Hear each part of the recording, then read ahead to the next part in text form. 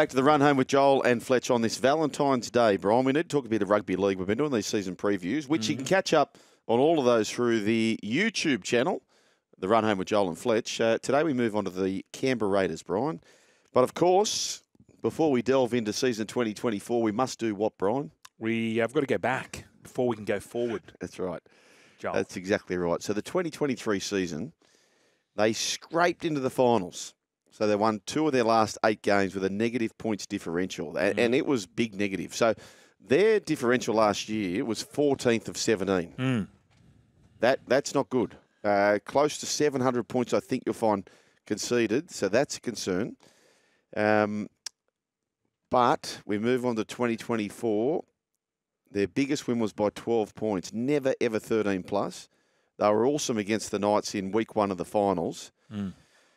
Jarrod Croker, he was desperately trying to find game 300. He's since retired. Matt Timoko, he's, I think he's a, a gun. gun. Absolutely. Absolute gun. Uh, 11 tries. He was the only player on the side to play all games for the year. Hudson Young made his Blues debut. It was a mixed debut, fair to say. So who do they pick up? Simi Sasagi from the Knights, Kaeo Weeks from the Seagulls, Morgan Smithies, who was one of the best performers in the Super League Grand Final, which the Wigan Warriors won. Mm. And of course, they'll take on the Panthers in the World Club Challenge. Zach Hosking, part of the Panthers squad, he joins them as well. They lose Jack Wighton Matt Frawley, Jarrod Croker, Clay Webb. Harley Smith Shields has gone to the Titans. Very, very tricky. Uh, no Corey Horsburgh for the first week or so. Mm-hmm. Bryan, where do you see the Raiders in 2024? Mm. Well, it, the loss of Jack Wighton's massive. Yep. But by all reports, Kaeo Weeks has been slaying them at training. And I know it's the uh, it's the old training the house down. Yep. But my understanding is Sticks right behind him and said, "I'm going to put you at six. Yep. He's going to be playing five eight, and he had a lot of raps on him going to when he was at Manly. Sort of got shifted around a little bit, played a little bit of fullback, played a little bit of centre, come off the bench. So maybe he that's all he needs. He just needs the confirmation from Stick. Yep. That'll give him the confidence. Um, look, they've got two players there who I think are the best in their position in the competition. Joe Tapine? Joe Tapine. I know Payne Haas is a fantastic footballer, but Joseph Tapine, I think he's a phenomenal front rower. Okay, you said two players. Matt Matty Timoko. He's the best in the I competition. Think, I think he's, he's the best centre. I, I, think he is. Wow. I, I think I, he is. Man, I'm not arguing. I love him because it's a big what, statement. What Bryan. he does is he does it all himself. Yep. You know, he comes back on that line where he just yep. goes through the middle. Yep. Big and strong and fast. He has. He didn't have a five eight throwing him a long ball and hit put him through holes. A lot of the stuff he does. I mean, Joey Manu is very similar as well, but I think this kid can. I, I just love watching him play. Uh, 623 points in the against column. This is Yeah. my concern for them, right? Yeah. So, to give you context for that, for so teams who had fewer points conceded against them, Manly by almost 100. Um, North Queensland who missed the finals, Parra who missed the finals, South who missed the finals. H- How do you fix that? That's Defence. yeah. Yeah, well, Sticky's the one. Sticky's always big on, on defence. I, I don't know. I just think it's the mindset of, of some of the players sometimes. They did have an interrupted sort of season in the sense of in their middles. Um, Josh Papali'i, he probably didn't have his best year, but your man's here. You got big raps on your man, Who's that? Mariota. Oh, Mariota. I- love him. Yeah. Ata Mariota. I, he, he, I think, is going to be one of the premier forwards within the next two go. years. Okay. He's a gun. There's no question about that. I tell you who there's a bit of a spruik on, Bryan. And he, he, I've watched him. He's a little bit Papenhuyzen, a little bit Teddy. Chevy Stewart. I'm not saying he's compared to them. I'm just saying his style of play looks similar to them. Is he in front of? He's a uh, Kernell boy. Is he? Is he in front of Baditsav? Yes. Because Baditsav was Yep. the spruik. Yep. And I, I, I haven't got around batted Sav at fullback. Okay. He might be a winger. He's elite speed, but um, I'd be shocked if it's not Chevy Stewart. yeah. But that means that their spine may be Chevy Stewart, Kaeo Weeks, Jamal Fogarty, and um, Colonel Rambuka. Who's that going to be? Um, Zachy Woolford. Tommy Starling, Zach Woolford, or Danny Levi. So the spine Mm. is a little bit Inexperienced. I would- inexperienced. I would say. Inexperienced. Yeah. And I think Ricky knows that. Yep. I think it's a huge, as I mentioned before, huge out with Jack Wighton.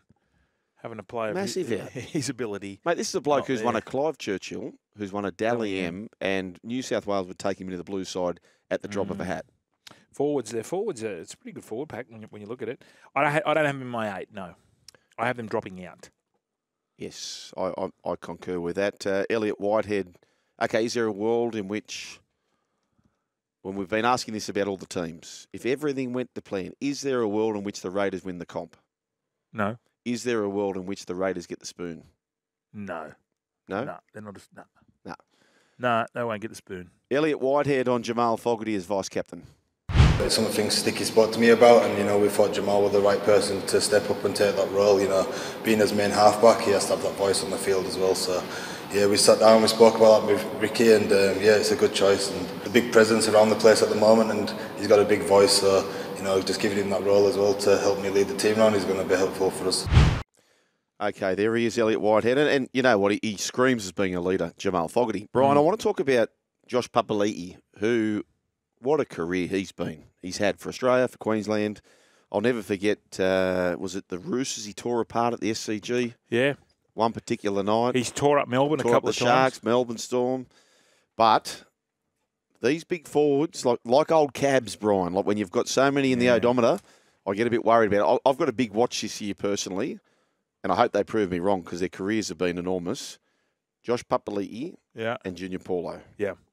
They're two players. I'm going to be watching their stats very, very closely. Mm, yeah. The, the days of playing big minutes, I think, are they're before them, aren't they? Well, mate, they've, they've given Uh, so much to the yeah. game, and you're human. does take it out of you. Does take it out of you. Uh, Jace doesn't agree with me about uh, he's not even close. Matt Timoko. He's even close to the best centre in the game. Well, oh yeah, I watched when he played against Australia at the end of the year and Mm. absolutely tore our centres A a, new one. a new one. I just like watching him. I just like watching him play, and I think he's right up there. Yeah, but why can't he be, Bryan? If he's done that there on the biggest stage, Mm. you're playing with Canberra, who aren't world beaters. If you had thrown him into the Panthers, for example, Oh yeah, or the Broncos, for example, do you reckon people would have a different opinion? I think so. Yeah, I think so. Yeah. Just Yep. What, how quick he is and how powerful, Yeah, strong, mate, I- and talented too. Like I was watching him in a game, and obviously a lot of these young kids are getting into their Super Bowl and into their NFL. Mate, he was holding a Steeden, and he was just pegging it quarterback style, Yeah. 50 metres. Just, he's a talent, mate. He's, he's a serious talent. I was speaking about uh, throwing balls a long way. Um, Nathan Wood can throw a golf ball 150 metres. No way. 150. How much have you tried it? I got to about 80 metres. Ooh, 150 to your 80. 150. He were at ES Marks. He threw it from the dead ball line and cleared it by 20 metres. Are you? Um, I don't know how he does it. Has he got a cricketing background? Natty Wood. Yeah, No, maybe just throwing rocks in Urco. maybe that's what he was doing. he might have been doing that. It's a run home with Joel and Fletch. Heaps of texts coming through. We need to jump onto those Yeah. as well. 0457 736 736. Your thoughts on our Raiders appraisal?